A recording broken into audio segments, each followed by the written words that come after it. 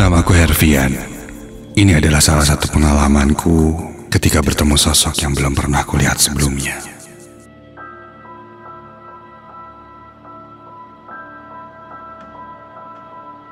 Aku ingat sekali hari itu Senin.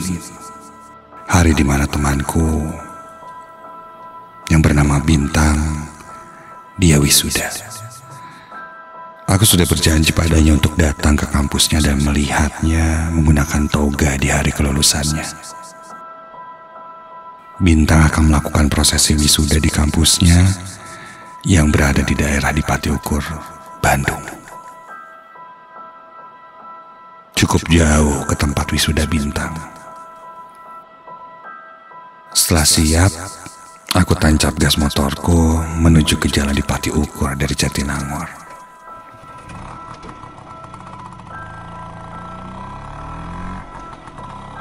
Sekitar jam 9 pagi aku berangkat dan di perjalanan tidak ada sama sekali hal yang kupikirkan selain bagaimana caranya agar sampai tempat waktu. Karena setauku sudah selesai jam 1 siang.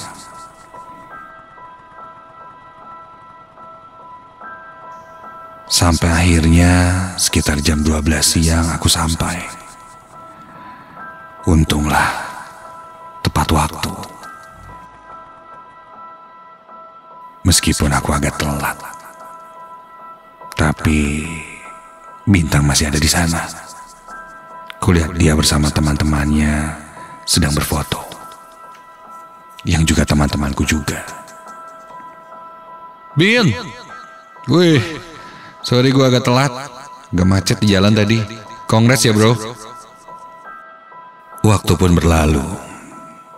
Di hari yang sama, Bintang mengajak kami semua merayakan kelulusannya di salah satu kafe yang berada di sekitaran daerah Cimbulait. Kami pun mengiyakan ajakannya. Kapan lagi bisa berkumpul dengan teman-temanku dan cukup lengkap juga. Tiba malam hari, Aku mulai memenuhi undangan bintang sekitar jam 8 malam. Aku berangkat bersama temanku Dedi dari kosannya yang berada di daerah Dewu. Sampai di kafe daerah Cimbulait itu, kulihat teman-teman yang lain sudah datang. Begitupun Bintang. Kami mulai merayakan malam kelulusan Bintang. Dia memesan makanan, mentraktir kami semua. Waktu berlalu dengan obrolan-obrolan seru, tertawa. Tak terasa sudah menunjukkan jam 11 malam. Satu persatu dari kami pun berpamitan untuk segera pulang.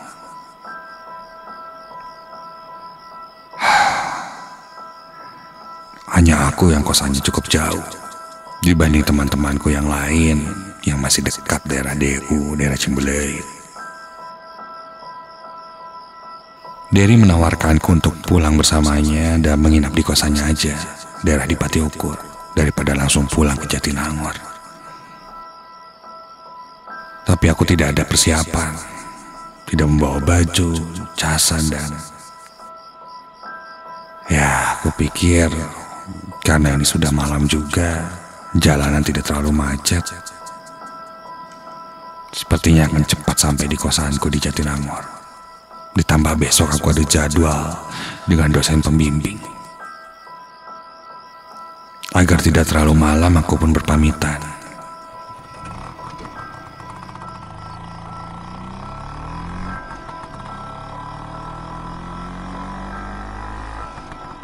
Aku mulai melaju turun dari arah Cimbulait. Kondisi jalan malam itu sesuai dugaanku, sepi. Aku bisa tancap gas untuk segera cepat sampai di kosan. Mempersingkat waktu, aku coba jalan-jalan yang ah, bisa dibilang jalan motong lah.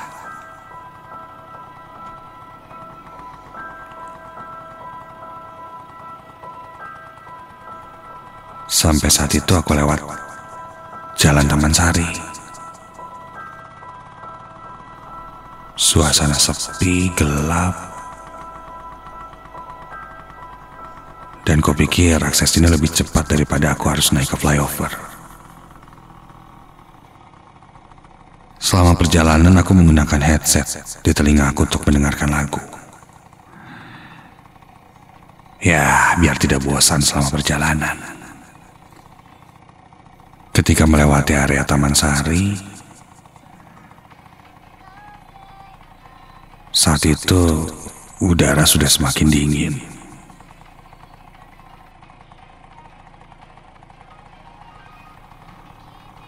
Aku sering dengar tentang jalan Taman Sari yang katanya sih angker. Sesekali muncul perasaan aneh dan takut. Tapi, ah, sudahlah. Mungkin hanya sugesti. Kuperbesar volume musik yang ada di headset telingaku itu.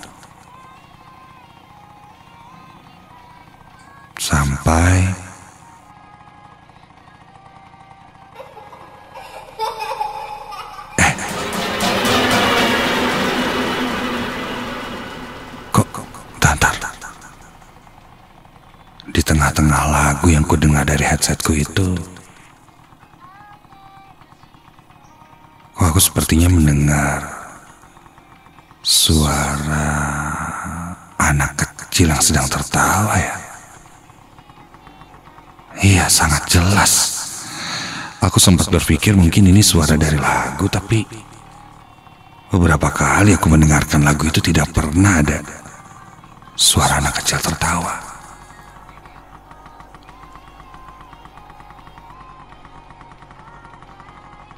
Kuliah di sekitarku pun tidak ada anak kecil. Ah, sudahlah. Aku coba ganti lagunya.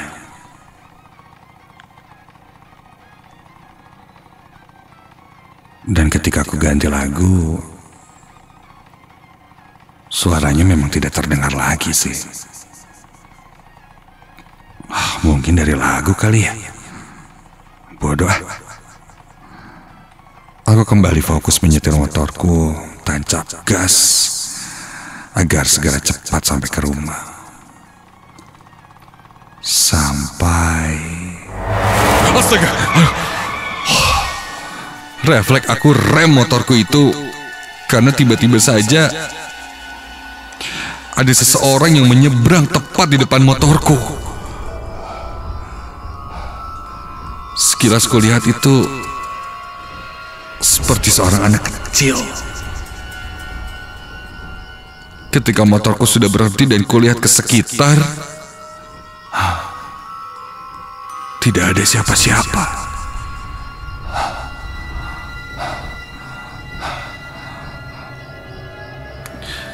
Buru-buru aku kembali menyalakan motorku yang tiba-tiba saja mati saat itu. Namun tiba-tiba motorku ini tidak bisa menyala.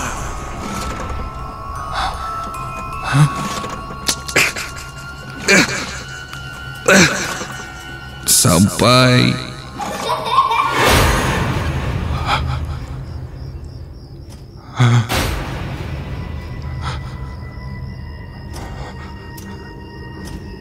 aku mendengar su- su- suara anak kecil.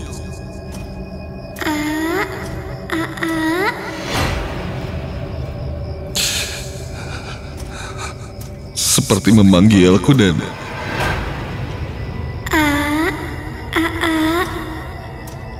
ketika kulihat di belakangku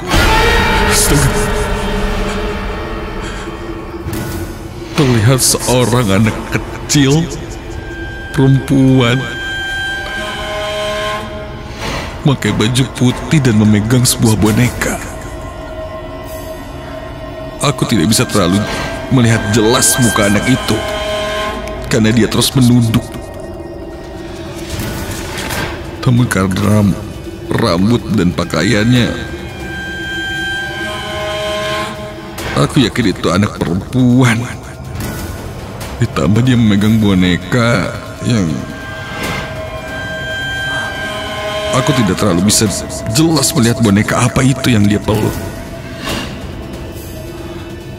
Badanku merinding seketika. Barulah perlahan anak kecil itu mengangkat wajahnya melihat ke arahku dan menunjuk ke arahku. Iya, dia menunjuk dengan tangannya. Kini wajahnya terlihat olehku. Pucat dengan tatapan kosong. Dia berkata, Hati-hati kalau lewat sini, jangan ngantuk, nanti celaka. Badanku terpaku tak bisa bergerak sama sekali. Tiba-tiba saja sosok anak kecil perempuan itu tertawa sambil berlari dan menembus salah satu tembok yang ada di samping jalan. Buru-buru aku menyalakan kembali motorku dan akhirnya menyala. Dan aku langsung langsung tancap gas pergi dari tempat itu.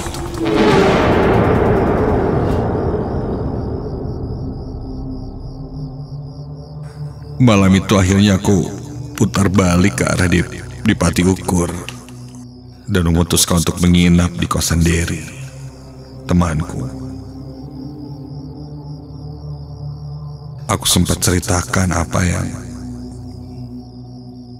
apa yang terjadi padaku tadi.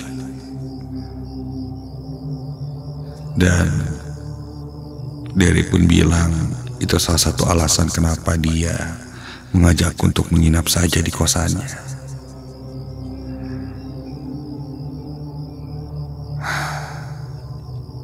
Wajah anak perempuan itu masih terbayang terus di pikiranku. Pucat, tatapan kosong dan suaranya. Setiap kali aku mengingat, aku selalu ketakutan. Tapi Derry berkata, sosok tersebut sepertinya berniat baik. Iya juga. Dengan kondisiku yang tadi ngebut. Dan memang aku sedikit mengantuk. Bisa saja ada hal lain yang terjadi padaku.